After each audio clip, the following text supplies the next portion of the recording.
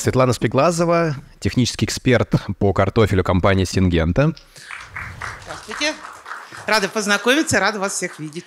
Светлана знает очень много о патогенных и вредителях, и я вам настойчиво рекомендую сегодня воспользоваться э, доступностью Светланы, пообщаться с ней, задать вопросы наболевшим. И симбиоз науки и практики сегодня представлен Сергеем Александровичем Бонадысевым, руководителем селекционной программы компании «Дока Генные технологии». Э, я уверен, что более опытного специалиста в комплексном подходе, э, пожалуй, найти невозможно. Итак, наша секция посвящена картофелю. Уважаемые эксперты, э, итак, что можете сказать о болезни в целом? А насколько вообще эта проблема решаема или нерешаема в современном производстве? Поднимите руки, кто сталкивается с болезнями картофеля. А теперь кто не сталкивается? Ух ты. Так, ну там, там рука всегда поднята. А, на самом деле болезни картофеля есть, будут, и, к сожалению, они практически э, непобедимы.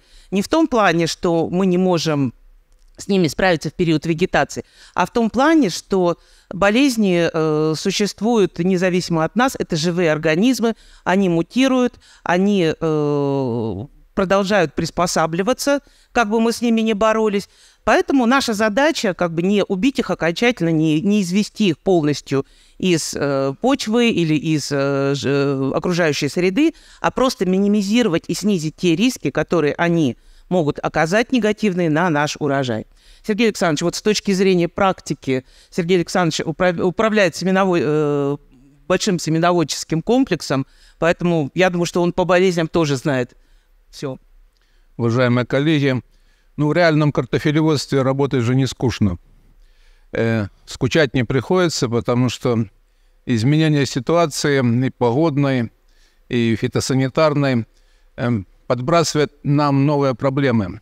И э, эти проблемы становятся все более сложными. Уже сейчас, можно сказать, мы и не задумываемся, как контролировать фитофтороз. Все понятно. Альтернариоз, все понятно. Но успокаиваться на достигнутом-то не надо. Я вот с собой взял немецкий журнал последний по картофелю, и там четко написали, например, первый раз я такое прочитал, что только 4 ДВ, 4 активных э, субстанции контроли, ну, реально подавляют альтернариоз. Остальные только контролируют, то есть, ну, сдерживают немножко. А что уже говорить о новых проблемах, которые вот появились буквально в последнее время? Э, ну, к числу актуальных вот в реальном картофелеводстве, которым занимается наше предприятие, причем на больших объемах, полторы тысячи гектар в основном семеноводческого направления – новые проблемы – это не только наши проблемы, но они э, вот э, обострились буквально последнее время, последний период. Самыми острыми являются, конечно, бактериозы. Также много хлопот доставляет повышение вредоносности стеблевой нематоды. И вот такое явление, как раннее засыхание растений картофеля. Я помню, э, года три назад какой-то, вот, по-моему, финский эксперт, по-моему, на, вашей, на вашем днеполе там, у нас проблема, в Финляндии, у нас проблема раннее засыхание. Мы думаем, ну что он, раннее засыхание, о чем он говорит? А потом присматриваешься, ё-моё, вот в конце вегетации неожиданно начинают засыхать растения. Это не фитофтора, это не альтернариоз, а оказывается, к нам пришел уже вертицеллез, появился уже склеротиниоз, циркоспороз уже находится на картофеле. Ну и вот э, антракноз, о котором мы сейчас будем говорить. И это вот симптомы, которые новые, которые э, ну, раньше не встречались на товарных посадках, а они, знаете, к чему приводят? Вот тот же антракноз и бактерии, они сложны тем, что они, в общем-то, э, проявляются в течение всего жизненного цикла картофеля. И в период вегетации, и в период хранения – и они могут прогрессировать в период хранения, поэтому э, борьба с ними, то есть контроль их очень сложен, и он практически меняет всю агрономическую работу. Поэтому у нас, конечно, мало времени на то, чтобы обсудить все сложные проблемы, которые сейчас у нас появились, но некоторые вопросы мы постараемся вот сегодня обозначить, э, привлечь ваше внимание, чтобы ну, вы относились к ним более внимательно. Вот, ну вот смотрите, э, почему вот еще э, такой маленький отступ э, в научную сторону, почему сложно бороться с болезнями? Потому что э, даже понятно, что бактериальная болезнь существует внутри растений, вирусные болезни вылечить невозможно, можно только оздоравливать семенной материал, но и грибы тоже не отстают. Вот вам пример просто. Многие грибы формируют покоящиеся структуры.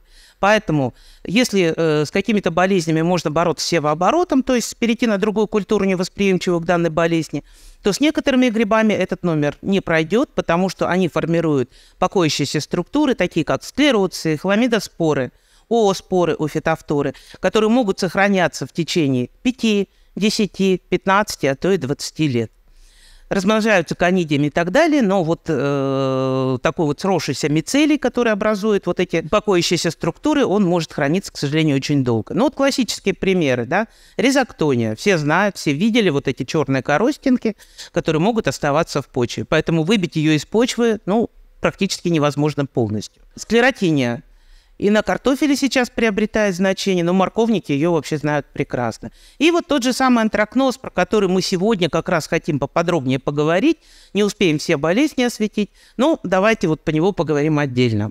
Да, давайте дальше развивать тему антракноза и перейдем к конкретным примерам. Сергей Александрович, вот у вас богатая практика и такая мощная довольно-таки научная база. А расскажите все-таки, какие основные факты э, об антракнозе нужно знать нашим производителям картофеля? Ну, мы как производственники не такие уже офигительные теоретики, мы не будем углубляться в биологию. Наша задача контролировать проблемы, пытаться их сдерживать и но не допускать ущерба. Поэтому по антракнозу нас интересует, конечно, э, ну, прежде всего, беспокоит то, что он снижает товарное качество клубней. Э, по симптомам они немножко отличаются от серебристой парши. Иногда зрения не хватает, надо посмотреть под таким увеличительным стеклом. От серебристой парши антракноз отличается маленькими черными точками. Поэтому во всем мире его, эту болезнь так и называют – черная точка. И, соответственно, снижение товарности довольно существенно, если выпустить эту тему из-под контроля. На клубнях, если он начинает прогрессировать, то вот это уже поражение уходит в глубину, и уже так по внешнему виду и не скажешь, антракноз это или стеблевая нематода, или это бактериоз, это уже на этой стадии поздно э, диагностировать э, антракноз. И, соответственно, визуальной диагностики этой болезни недостаточно. Это Тут ошибиться можно просто на раз-два. Вот. Начинать э, это, контролировать болезнь надо еще, можно сказать, в середине вегетации. По первым пятнам еще можно диагностировать антракноз более-менее точно. Это такие коричневые появляются. Ну, сначала увядают стебли, но стебли желтеют от очень много причин. Это тоже не признак антракноза. А вот как раз черные точки, которые при высыхании стеблей появляются на уже на, на поверхности, это э, яркие доказательства, но и тоже не полное, потому что некоторые формы вертицеллеза тоже имеют микросклероз, и тоже черные точки.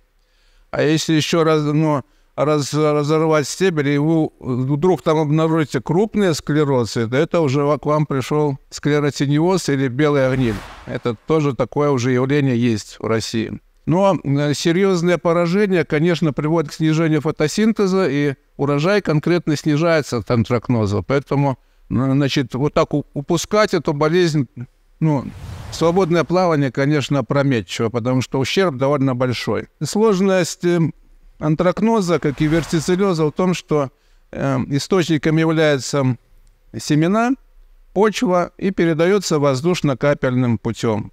Соответственно, вот эта сложность биологии возбудителя, конечно, определяет и сложность методов борьбы. Мы не можем эту болезнь контролировать э, типичной системой защиты. Я, я тоже хочу вот немножко добавить об источниках инфекции.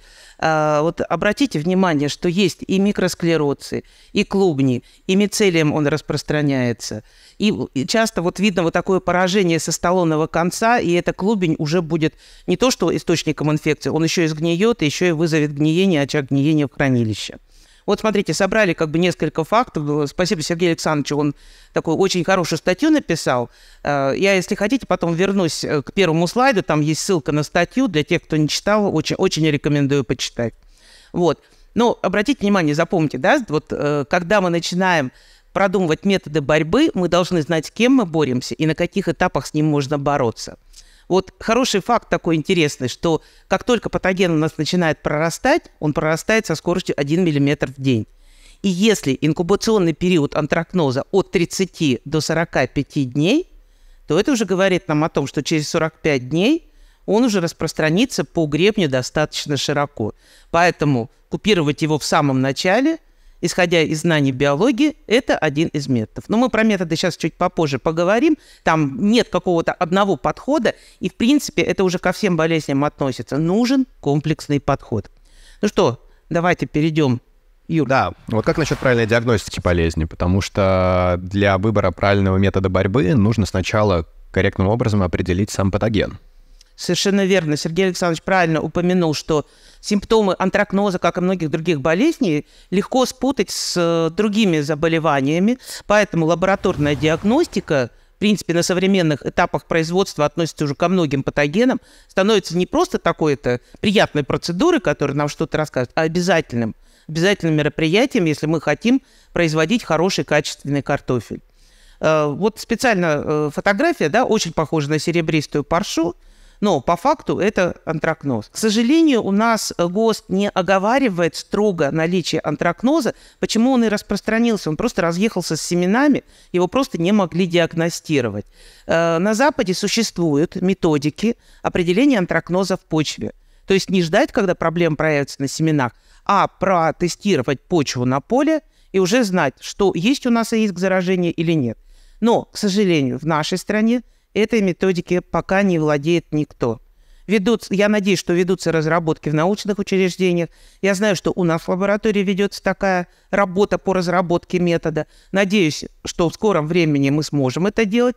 Но пока, к сожалению, мы диагностируем антракноз только на клубнях.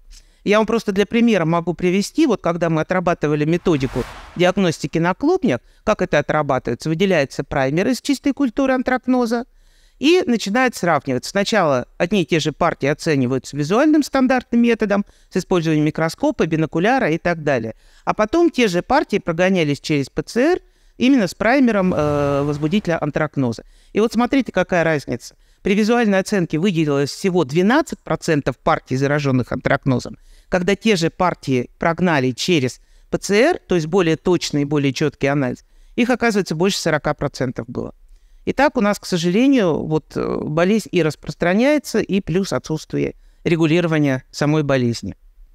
Слана, мне кажется, сейчас самое время объявить, что у наших уважаемых э, слушателей есть возможность, если у них в процессе да. дискуссии возникают вопросы, чтобы их не забыть, э, друзья, можете их фиксировать. У нас есть вот флипчарт здесь в зале, там есть маркеры. В совершенно свободном режиме, не стесняйтесь. Подходите, фиксируйте ваш вопрос, и мы постараемся в конце данной мастерской оставить время, чтобы их разобрать вместе с экспертами. Поехали дальше. Вот у нас есть знание о болезни. А, как это применить на практике? А, в чем заключается комплексный подход к контролю? И как на это влияют различные этапы? А, средства защиты растений, агротехника, севооборот, ну, эту болезнь достаточно хорошо уже поизучали в мире, поэтому есть многие закономерности. Они на слайдах представлены. Почему он распространился? Потому что очень, ну, как и вертицеллез, что очень много носителей, ну, растений хозяев. Практически вот только на одной строчке э, те виды, которые не переносят антракноз. Ну, это самые полезные для наших картофельных всеоборотов злаковые растения. Ну, вот оказался в этой категории подсолнечник, например, бобы, горох, но они достаточно мало распространенные, чтобы их считать, что мы с помощью вот такого оборота порешаем проблему антракноза. И выяснилось, что честная такая хорошая биофумигация, вот с оргосуданковым гибридом, э, крестоцветными некоторые на ранней стадии, они действительно снижают инфекционный фон. Но то, что следующий слайд, инфекционный фон – конечно, существует почве, мы должны это уже считать как э, ну, данность объективную. Э, это патоген, который уже присутствует на наших полях. Выяснилось также, что, например, э, развитие антракноза очень сильно зависит от уровня агротехники. Это плотность почвы и обеспеченность питанием, ну, питательными веществами. То есть при оптимальном соотношении питательных веществ антракноз развивается меньше, чем когда растению не хватает питания или, наоборот, оно избыточное. И вот эти параметры, они в зарубежных исследованиях установлены, но можно, конечно, их экстраполировать и перевести в наши обычные нормы. Э, за этим дело не станет. Вот э, что действительно может резко обострить проблему антракноза, это э, осадки или обильное орошение на самой финишной стадии нашего процесса выращивания. То есть вот на этом цветном слайде видно хорошо, что если Э, картофель орошался после диссекации обильно, то антракноза будет в два раза больше на клубнях, чем в том случае, если в это время была сухая почва. Это очень важный момент. Как раз у нас уже э, доля орошаемых картофельных полей очень высокая, и на этот момент надо обращать самое пристальное внимание. Что касается вашего вопроса по питанию, то ну, вот эти наши обычные нормы, которые мы используем – на картофеле 100, э, 150 килограмм ДВ азота, фосфора и калия, ну, калия больше 250, они не провоцируют. Но исследования проведены в Европе, где очень много удобрений сыпали и до сих пор сыпят. У них до сих пор, например, применяется азот 250-300 ДВ на нерошаемых полях. Но сейчас их экологи поджали. Соответственно, э, такой уровень ну, жирование растений, он, конечно, провоцирует развитие антракноза. А вот э, следующий этап, конечно, вот это мы будем говорить и по бактериозам, это как раз надо уже признать э, такой же активной агрономической работы, этап хранения, как этап выращивания, потому что вот эти патогены, антракноз, серебристая парша и бактериозы, они прогрессируют, ну и сухие гнили, они прогрессируют на этапе хранения, поэтому к вопросам сохранности качества надо относиться намного более жестко и ну, профессионально, чем мы делали это ранее. Например, антракнозу надо действительно быстро просушить клубни и быстро охладить. Но часто в наших климатических условиях все упирается в недостаточную мощность вентиляции, и мы сушим очень долго. И, соответственно, в этот момент – болезнь начинает очень сильно развиваться. Это касается и бактериоза. Вот эта констатация условий, она определяет сложность механизмов и методов контроля данного заболевания. Так, ну давайте о методах контроля поговорим. Вы уже поняли, да, что все не так просто, что нельзя просто взять какой-то химический препарат, вылить. Э, развитие этой болезни зависит от очень многих факторов. Ну, давайте поговорим. В принципе, бороться-то с ним можно, Сергей Александрович. Есть но вот это, что перечислено на слайде, это, конечно, ну, общая культура производства. Надо понимать, что она дает определенный эффект. И э, вот от, от, ни от чего не надо отмахиваться. Вот если можете этим пользоваться, пользуйтесь. Это даст э, такой ощутимый эффект по повышению качества картофеля, в том числе по поражению антракнозом. И Этих э, операций достаточно много, и они формируют такой комплексный подход контроля или менеджмента антракноза. Но я хочу сказать больше уже о радикальных способах, потому что ну, я как производственник э, понимаю, что антракноз как раз поддается контролю, и это показывает международная зарубежная практика. Это как раз вот эти, вот эти слайды, они уже отражают механизмы контроля антракноза, который используется ну, в США, в Канаде в настоящее время. И выяснилось, что э, азоксистрабин, ну, давно известный нам азоксистрабин, он, оказывается, очень эффективно контролирует антракноз. Но применять его надо немножко по-другому, чем мы это делаем по отношению к той системе защиты, которой пользуемся в настоящее время. В принципе, вот смотрите, что Тут не просто э, одно, как, одно какое-то мероприятие. Каждое из мероприятий в плане защиты оказывает то или иное действие.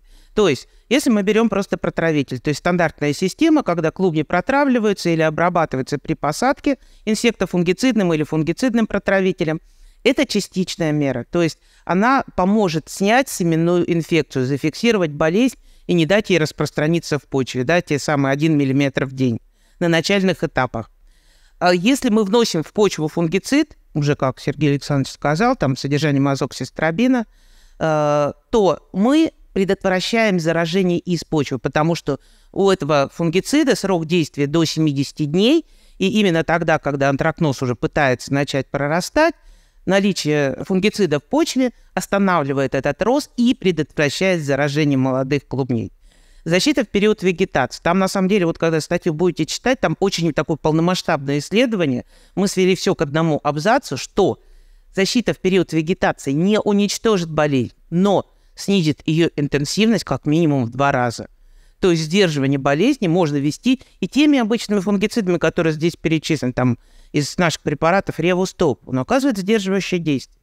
То есть все вот эти меры, включая агротехнику и правильное питание – они ведут к снижению, если, ну, не к уничтожению болезни, но к снижению. То есть, смотрите, при комплексном подходе, оказывается, можно контролировать и такую сложную болезнь. На следующем слайде как раз можно, ну, демонстрируем вам как раз все возможности. И вот американская система контроля антракноза. Вот э, прочитайте э, именно последние Последние две строчки. Э, не, ничего вы не закрываете, это все нормально. Видите, э, вся фишечка в том, что они азоксистрабин используют уже на самом финише вегетации, практически уже э, в момент диссекации. Всего лишь 250 грамм азоксистрабина и антракноз под контролем. Мы вот этот приемчик пока не использовали. А, в принципе, он, я думаю, не такой дорогой и надо им пользоваться. Он даст большой эффект. Э, препарат в нашем официальном доступе, то есть э, Платон не придерется. А, например, по отношению к бактериям мы вынуждены будем говорить о том, что тут с Платоном у нас есть определенные нестыковки. Нам надо, в общем-то, систему защиты делать более комплексной, более разнообразной. Наша ориентация на фитофтору альтернариоз, это надо про это уже забывать. Нам надо контролировать намного больше патогенов, поэтому система защиты точно будет меняться. Мы должны реагировать на изменения фитосанитарной обстановки. Поэтому то, что было раньше, мы работали с тем, что было раньше. А сейчас надо работать с этими патогенами. Э, какое, какое тут противоречие? Но ну, э, по отношению к сингенте, как всегда, конкуренты проснутся, скажут, да от азоксистрабина резистенция будет у нас там возрастать. Там. Ну, знаете, это такие, когда уже нечем больше попрекнуть, тогда вот переходят только на эти аргументы. На самом деле люди работают, люди работают и контролируют. Почему мы не должны использовать то, что эффективно? Давайте э, вопросы, если что, фиксируйте, если мы успеем, да, ответим, нет, а мы переходим да. дальше к следующей теме. Ну, последние годы действительно серьезной проблемой для многих производителей стали бактериальные болезни картофеля. Давайте это обсудим и начнем с э, биологии и вредоносности. Ну, мы кратенько пройдемся по биологии вредоносности. Так, давайте разомнемся. Кто сталкивался на своих полях с бактериозами?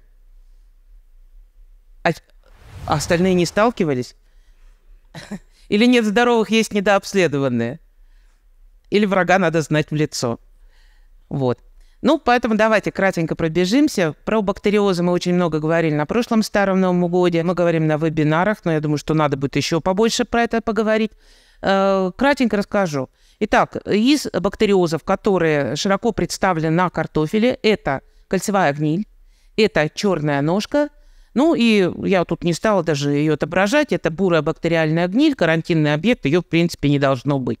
Стандартная форма проявления бактериозов, которую мы видим на картофеле, это гибель в растении в начале вегетации, это может быть загнивание стеблей в середине вегетации, вот как раз вот с этим все чаще и чаще сталкиваемся.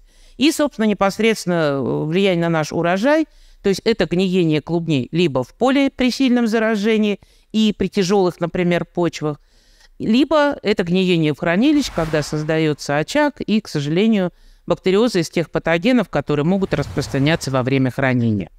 А, насчет диагностики и регулирования.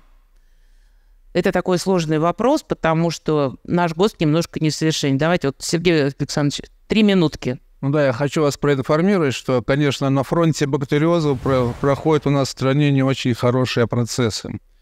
Э, ну, прежде всего, мы должны, как картофелеводы, понимать, что вот э, разновидность бактериоза, как, такая как кольцевая гниль, она нам будет аукаться еще очень долго, потому что э, получилось так, что как-то незаметно э, признали, что на территории России есть этот э, вид бактерий. И второй момент, э, установили, что он не карантинный. А на самом деле то, во многих странах эта кольцевая гниль является карантинным объектом. И знаете, вот такое немножко упрощенное отношение, что это одно и то же, пектобактерии и кольцевая – это все-таки большая разница. Как только у нас появится возможность поставлять картофель на экспорт, а она появится, потому что за этим будущее у нас огромное природное преимущество по этой культуре, ну, низкая температура, и все упрется в то, что нас начнут попрекать, что у нас есть кольцевая гниль и мы ее особо не контролируем. Поэтому надо мух от котлет отделить. И с кольцевой гнилью надо работать намного строже. Потому что, я говорю, во многих странах это карантинный объект, и он будет блокировать наш экспорт в будущем. Мы не сможем поставить ни в Европу, ни, ни даже в Турцию картофель, потому что э, там это признан карантинным объектом. Получилось так, что э, Тут э, определенная провокация проведена. Какие-то малозаметные ученые в 2015 году опубликовали статейку в английском журнале. Я проследил эту историю. Эти ученые не публиковали по теме бактериозов ни до этого ничего, ни после этого ничего. Вот один такой укол сделали, но эту статью взяли в статистику, на нее сейчас ссылаются во всем мире, что российские ученые выявили наличие кольцевой гнили – причем выявили, знаете где? Э, там, где мы хотим разместить семеноводство, то есть на севере. В Карелии, в Архангельской области. Я считаю, тут работа пятой колонны у науки, и мы не должны а, ну, от этого отмахиваться. Такие процессы происходят, к сожалению, нехорошие. И то же самое касается методики оценки бактериоза в семенном картофеле. Впервые в гости прописали, э, узаконили, скажем, э, проверку семенного картофеля методом ПЦР – для высоких репродукций. И вот тут мы, наоборот, оказались, если по кольцевой гнили наше законодательство слишком мягкое, то здесь, вот по сравнению с другими странами... Я когда этот, вот эту информацию показываю, это ну, просто смех разбирает. Представляете, во всем мире бактериальная болезнь оценивается по визуальным симптомам. Это вот э, на растениях черная ножка или стеблевая гниль, на клубнях мокрая гниль. Потому что люди поняли, что бактерии в растениях есть всегда. И современные методы анализа покажут наличие бактерий. ПЦР и ИФА. Потому что нам кажется, что растительные клетки вот прямо склеены. На самом деле между ними такое расстояние, что ну, такое э, большое расстояние, что бактерии там живут, они там гуляют. Э, но это все равно, что человек ходит по Красной площади. Там они есть, присутствуют постоянно. И латентную инфекцию современные методы покажут. В нашем стандарте нулевой допуск был введен ГОСТом 33996 на высоких репродукциях. Это невыполнимая норма. А сейчас вот последний месяц, э, опять же, от, от имени науки пришло предложение продлить этот нулевой допуск до элиты. Вы понимаете, к чему это приведет? Что любой формалист, у которого есть ПЦР-анализ – он будет ну, браковать весь семенной картофель в России. Весь. Потому что ноль по бактериям латентной форме быть не может. Это теоретически невозможно. Но, с другой стороны, этот метод важен для самих картофелеводов, для того, чтобы им оценить риски. Если определение, то есть на законодательном уровне это как бы сложно, да, запретить, это, ну, какие-то люди будут решать. Но для себя картофелевод делает анализ, обнаруживает там, что есть бактериоз, и он просто более бережно, более э, тщательно относится к этому картофелю. То есть фактически просто соблюдает те э, процедуры стандартной, хорошей, правильной агротехники, которые относятся и к другим болезням, и к бактериозам в том числе. То есть не накапливает у себя эту проблему. То есть методы хорошо, но с, с точки зрения государства все сложно. На самом деле пиктобактерии контролировать можно не провоцируя их.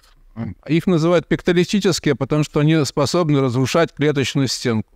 Но для того, чтобы они могли жить и заниматься своим нехорошим делом, им надо температура, влажность и отсутствие кислорода. Вот эти три фактора, которые приводят к старту бактерий, к проявлению болезни. Если этих условий нет, особенно на этапе хранения, быстро высушили картофель, быстро залечили повреждения, то болезнь не будет развиваться. Она будет находиться в латентной форме, инфекция, ну, неопределенное долгое время. Поэтому во всем мире бактерии контролируются только по визуальным симптомам. А вот что касается уже радикальных способов борьбы, то есть это уже как раз ситуация немножко улучшилась, и причем в нашу пользу агрономическую. Если еще года три назад все говорили, да, с бактериями же бороться невозможно, оказывается, уже появляются варианты, появляются препараты, которые способны контролировать бактериальные болезни. Вот мы немножко в будущее заглядываем именно в плане контроля, но существуют препараты, которые могут сдерживать их распространение и, соответственно, защищать э, молодые клубни, не давать бактериям проникать туда. А это, собственно, наша цель – здоровый урожай. Ну вот про химические методы. Обработка в период вегетации медь содержащими фунгицидами. Сейчас мы немножко определимся, какими фунгицидами, но я хочу обратить ваше внимание на еще один способ, он вроде как бы не относится к химическим, вот, но за биологией будущего надо начинать с того, что надо давать растению то, что позволит ему самому защищаться. Про роль кальция э, можно говорить много, и это очень интересная тематика. Сейчас уже вот эта биологизация, да, попытки работать не просто там молотом долбить и заливать все напалмом, все сжигать, да, включая и полезные микроорганизмы, а именно дать растению те силы и те возможности, когда оно само будет препятствовать проникновению э, патогенов. К бактериозам это относится в полной мере. Давно известно, что чем толще клеточная стенка, чем больше в ней кальция, тем лучше растение само сопротивляется бактериозам. Поэтому к химическим методам, в принципе, относится и правильная подкормка кальцием. Главное ее сделать в правильное время и так, чтобы она усвоилась. То есть положить хлористый там с осени, ну, простите, это не метод. Вот метод именно правильно внести в тот период, когда растению это нужно. Ну и э, по поводу медсодержащих препаратов, я хочу Сергея Александровича еще попросить практически. Да, как раз резко улучшилась картина. В каталогах всех фирм по защите растений появилась особая категория – бактерициды. Вот еще года два назад ее не было. И эту э, колонку заполняют медсодержащие препараты. Но они очень разные между собой. И на нашем рынке их много. Надо понимать, что эффект дают препараты с минимальным размером частиц.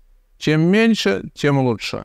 А они между собой очень отличаются. Поэтому когда вы будете покупать медсодержащий препарат, это может быть сульфат меди или оксихлорид меди, там их много разновидностей, они более тщательные презентации у нас все перечислены. Прежде всего, обращайте внимание на размер частиц и опрокидывайте поставщику. А какой размер частиц-то у вас меди? Мы что то не, не, это, не в лаптях ходим, мы разбираемся, мы знаем, в чем эффект медных, медных препаратов. И они используются, например, теми же американцами – для локализации бактериозов даже в период вегетации. У них в регламенте написано, как только появились симптомы, обрабатывайте каждую неделю медь содержащим препаратом, и вы локализуете развитие бактериозов. На этапе вегетации довольно эффективно, но э, сингенты тут, ну, это не должно выглядеть как реклама, как раз есть препарат, который э, одновременно защищает от фитофторы и содержит медь. И как раз он имеет огромное преимущество именно в том плане, что частицы медные самые мелкие. Ну, да, не в качестве рекламы, но, тем не менее, я не могу сказать, что препарат действительно... Дело в том, что этот препарат проверен в работе. То есть, когда э, много компаний там на какой-то выставке представляют свою продукцию, каждый там кулик свое болото хвалит, когда спрашиваешь, а где вы проверяли? А покажите, пожалуйста, данные. Ну, многие говорят, да зачем нам проверять, у нас и так все хорошо.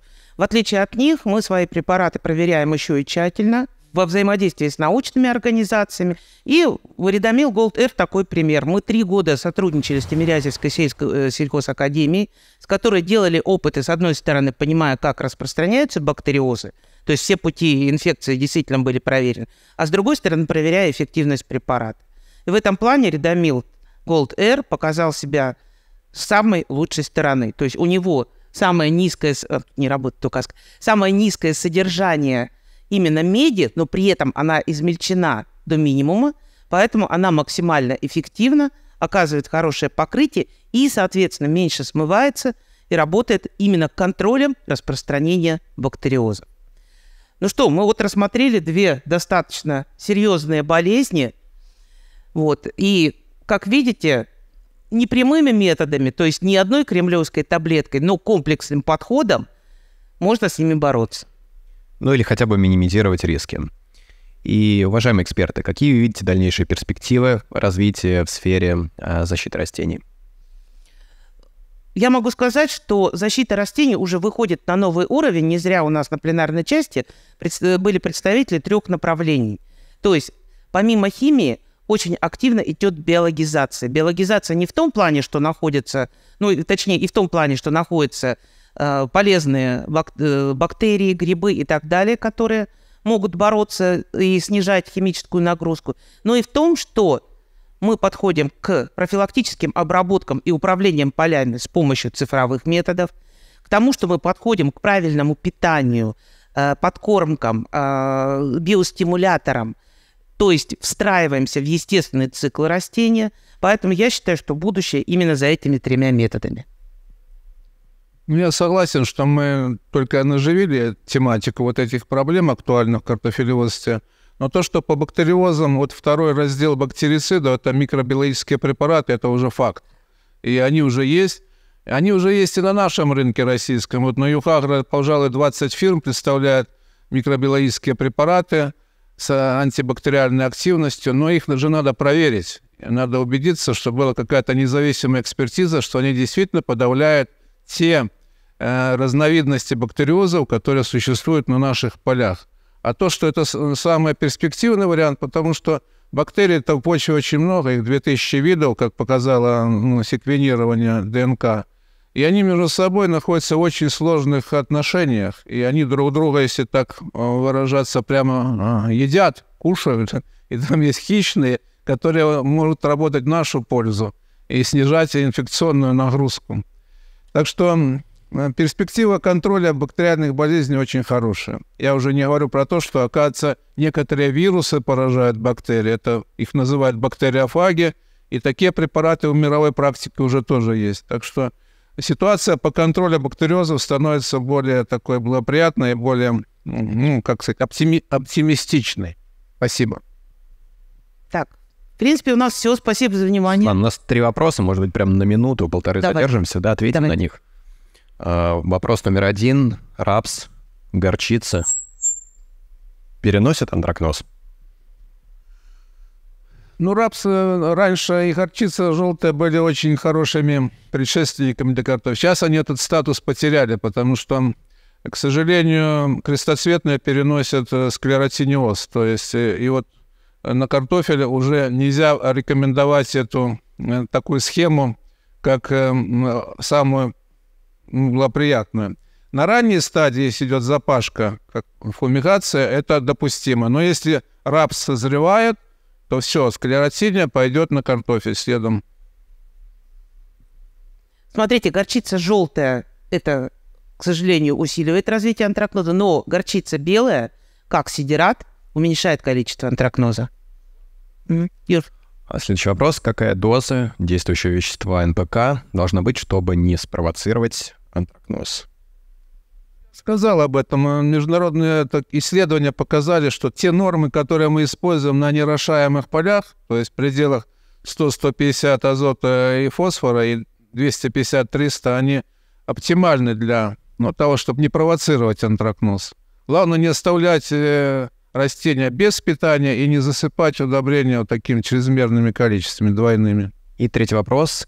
Кислород э, — это возвращение к международной междурядной обработки? Ну, выясняется, что вот в уплотненной почве, если это вот касается практически бактерий антракноза, когда создается условие недостатка кислорода, то болезни эти развиваются намного веселее, чем если почва рыхлая и вот такая проницаемая. Друзья, давайте благодарим наших экспертов. Спасибо вам большое за внимание и за интересные вопросы.